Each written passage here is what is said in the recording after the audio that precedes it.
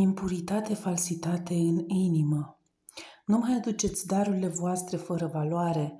Tămâia este urciune pentru mine. Codeș și șabat, chemarea adunărilor. Nu pot îndura nelegiuirea și adunarea solemnă. Urez sărbătorile voastre codeș și sărbătorile stabilite de voi. Ele au devenit o povară pentru mine. M-am săturat să le suport. Vai de cei care numesc răul bun și binele rău, care înlocuiesc întunericul cu lumina și lumina cu întunericul. Voi face de asemenea să înceteze toată veselie ei, zilele ei de sărbătoare, codeșimul ei, șabatul ei și toate sărbătorile ei solemne. Să nu adăugați la cuvântul pe care ți-l poruncesc și nici să nu iei de la el ca să păzești poruncile lui Yahua. Astăzi mulți onorează zilele și sărbătorile create de om mai mult decât muedim sărbătorile sale, zilele Pesahului și Azimilor, Shavuot și Sukkot și Shabbatul și Kodeșim. Concepție de la lună plină la lună plină. Vorbiți voi într-adevăr în dreptate, în tăcere? Judecați drept fii oamenilor? Nu, în inimă faceți răutate cântărinți violența mâinilor voastre în pământ. Cei răi se înstrăinează din pântece, se rătăcesc de îndată ce se nasc, spunând minciuni. Și se va întâmpla că de la un codej la altul și de la un șabat la altul, orice făptură va veni să se închine înaintea mea, zice Iahua. Se înțelege că toți oamenii cad în sclavia întunericului de îndată ce se nasc pe pământ – pentru a readuce la curăție inimii este necesară pocăința fără de legilor sale. Yahua a venit din împărăția luminii pentru a-i cerceta pe cei din împărăția întunericului, ca să se întoarcă înapoi în împărăția sa de lumină. Fiul risipitor a fost originar acasă, apoi a fost pierdut din cauza faptelor sale nebunești, dar a fost găsit în împărăția luminii. Conceptele de la ciclul lunii pline până la ciclul lunii pline din viața noastră au fost revelate spiritual. Adam a fost perfect la început, apoi a ascultat cuvintele fără de legii, înainte de a cădea în încălcarea legii sale.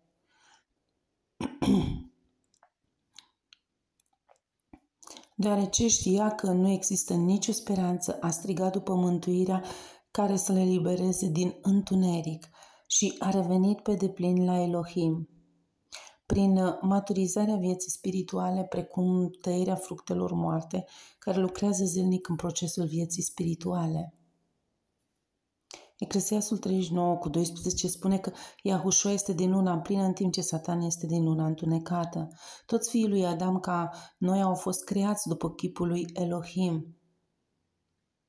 Perfecțiunea, lumina și am căzut în nelegiuire după nașterea noastră tupească prin actele nebunești, adică lucrările întunecate, așa că ni se cere tuturor să ne pocăim și să fim botezați de Sfântul Spirit, primiți lumina pentru nașterea spirituală și nivelurile de maturizare. În timp ce păcătosul este în scădere până la moarte, el are șansa să se pocăiască în timpul vieții, dar dacă nu se pocăiește înainte de moarte, nu are nicio speranță. Pentru a intra în împărăția luminii, trebuie să ne pocăim și să devenim copiii lui Elohim, perfecțiunea, lumina. Ce caracteristici ale copilului sugar sunt prezentate? Sunt iubitori, gentili, umili, inocenți, neînfricați, fericiți, răbdători. Asta vrea Tatăl nostru de la noi. Fi perfect așa cum este El perfect.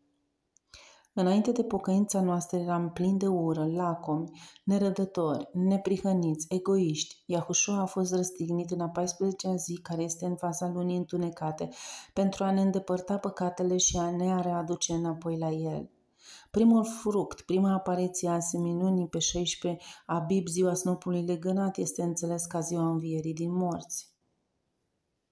Concepția omului de la luna întunecată la luna întunecată, gândul bărbaților pe ă, așa numită lună nouă, luna întunecată, este concepția trupească de la nașterea unui copil pe lume și creșterea lui până la puterea sa de plină, la luna plină de viață și apoi de căderea lui trupească venind până la capăt, până la moarte. Concepția de la lună întunecată la lună întunecată în mentalitatea fizică este că ne naștem goli, uh, trudă zadarnică pentru bogăție, slava omului puterilor, murim goi. Concepția de la lună plină la lună plină este aceea că atunci când ne pocăim de nebunia noastră, slava omului, deșertăciunea, puterile morții, satana, spre gloria lui Yahua, puterea luminii, înțelepciunea, viața veșnică, prin înmormântarea lui Yahushua, pentru a distruge păcatele noastre, vechiul templu, și ne eliberează de legăturile întunericului a morții necunoașterii, lunii întunecate, în timp ce El ne curăță de păcatele, necurăția noastră și, de asemenea, a înviat în a treia zi, ziua snopului de legănat, prima apariție a cerului, uh, primul fruct al tuturor, pentru noul templu al trupului său. Cât despre unde este începutul, există un sfârșit, este un ciclu de întuneric pentru cei care se cred în luna întunecată la început, care va fi aceeași la sfârșit.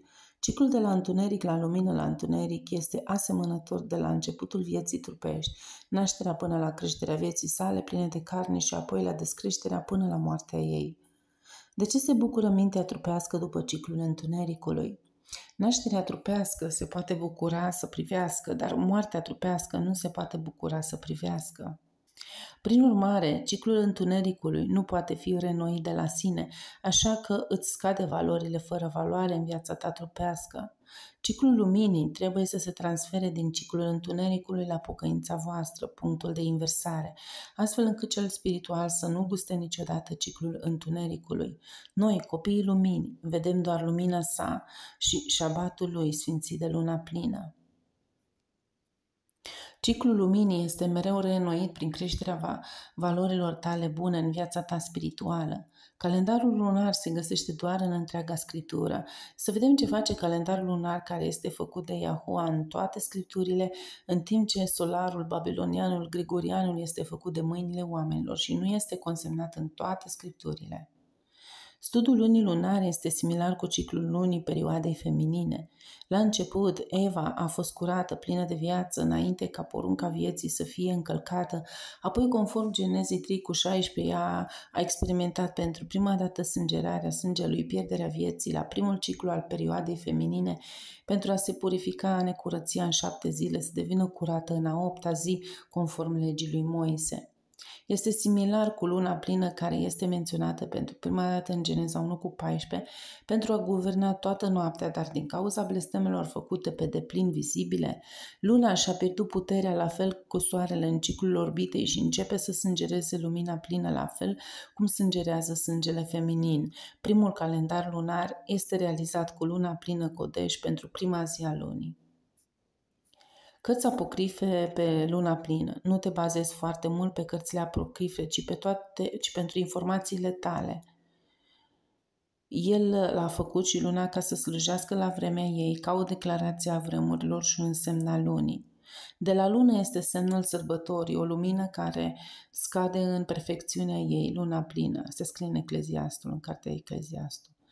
Sunt plin ca luna plină. El era ca steaua dimineții în mijlocul unui nor și ca luna uh, ei plină. Mielul este vrednic să primească slava de plină a luminii pentru totdeauna.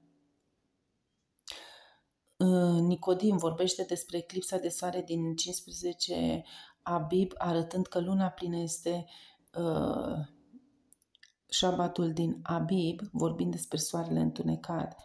Câteva cuvinte scrise alese pentru capitolele 73-78 din Enoch, care vorbesc despre ciclul lunii pline până la lună plină și prima ei fază în răsărit apare în 30-a dimineață și în ziua aceea aia devine vizibilă, adică lună plină. Toată lumina ei rămasă dispare complet pe a 15-a lună întunecată. Legendele evreilor de lui Gingenberg, Creierea lumii, a patra zi, paginile 23-24. Tu ai creat soarele și luna și se cuvine ca unul dintre ele să fie mai mare decât celălalt. Atunci Elohim a vorbit lunii. Știam bine, ai vrea să te fac mai mare decât soarele. Ca pedeapsă te cred că nu poți păstra decât o șaizecime din lumină. Elohim s-a căit în lumea viitoare, îți voi restabili lumina, pentru ca lumina ta să fie din nou ca lumina soarelui. Evanghelia după Bartolomeu nu s-a format mai întâi și apoi Eva? Uită-te la soare, strălucește ca Adam. Uită-te la lună, Este plin de lut pentru că ea, uh, pentru că Eva a încălcat porunca, căci Elohim l-a așezat pe Adam la răsărit și pe Eva l-a pus și a poruncit celor două lumini să strălucească, astfel încât soarele cu carul său de foc să strălucească asupra lui Adam la est, iar luna din apus să verse peste Eva laptele său, lumina albă, dar ea a pângărit porunca lui Yahua și de aceea s-a murdărit luna și lumina ei nu strălucește. Dacă nu ar fi fost greșeala ei, cele două lumini, soarele și luna plină, ar străluci mereu și ar exista întotdeauna. Shabbat, odihnă, perfecțiune, pentru că nu există blestem, conflict, întuneric sau nu este nevoie de muncă șase zile pentru restaurare. Priviți exemplul stâlpului de nor ziua soarele și stâlpul de foc noaptea luna plină. Zilnic după ce Israel a fost botezat la Marea Roșie din întinderea Egiptului, împărăția întunericului, continuu, arderea de tot de seară și de dimineață în templul lui Yahua. La fel, Duhul Sfânt este ghidul luminii sale, continuu în inimile, templul nostru după eliberarea noastră de răutate. Scrierea lui Soncino, Zohar și Mitra Raba pe luna plină. Acesta este din Zohar care pare să susțină credința că la momentul în care Israelul a ieșit din Egipt era o lună ascunsă, adică a 15-a zi a lunii, și că ne amintim acest eveniment în fiecare an pe o lună ascunsă în timpul primei luni a anului. Așadar, a 14-a zi adevărată a primei luni a anului evreiesc este o lună ascunsă pentru ziua sărbătorii Pesahului și este o imagine a ființei noastre iluminate de soarele Yahushua, care ne face să ținem sabatul exact care începe să fie chemat din luna plină, care este prima zi a lunii, Sonce Zohar, Shemov, secțiunea 2, pagina 40. Observați că atunci când israeliții erau pe cale să intre în țara sfântă, Moise a descris-o ca pe o țară în care veți mânca pâine fără lipsă, în contrast cu pâinea mizeriei a sărăciei, care era hrana lor în Egipt, când luna nu a primit binecuvântarea și lumina de la soare, când nu a fost luminată de jubileu și pentru că nu au îndeplinit uh, perita în Egipt, unificarea și armonizarea atributelor divine, nu s-a manifestat în deplinătatea ei. De ce au continuat să mănânce pâinea sărăciei în țara lui Israel a fost în amintirea Egiptului. Aceasta pare să spună că Israel nu a putut sfinți adevărata lună nouă până când nu au fost sfințiți în Egipt și apoi li s-a dat prima lună pentru începutul lunilor. Dacă un vas secular devine sfințit când s-a umplut cu ceva sfânt, atunci cu cât mai mult Israel ca, care sunt ei înșiși sfințiți sfințește luna nouă.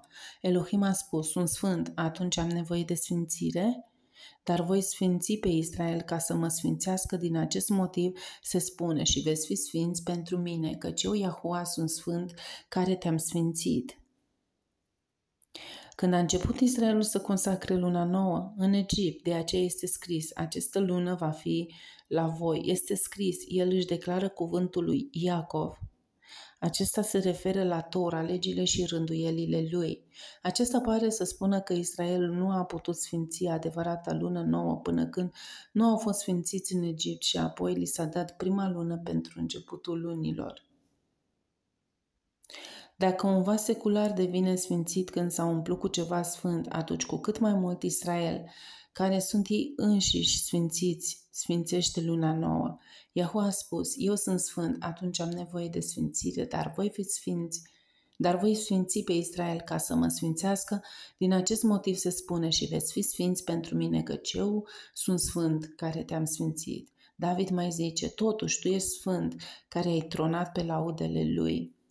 Când a început Israelul să consacre luna nouă în Egipt, de aceea este scris, această lună va fi luna voastră. Este scris, îl declară cuvântul său lui Iacov. Aceasta se referă la Tora, Tora și rânduielile lui.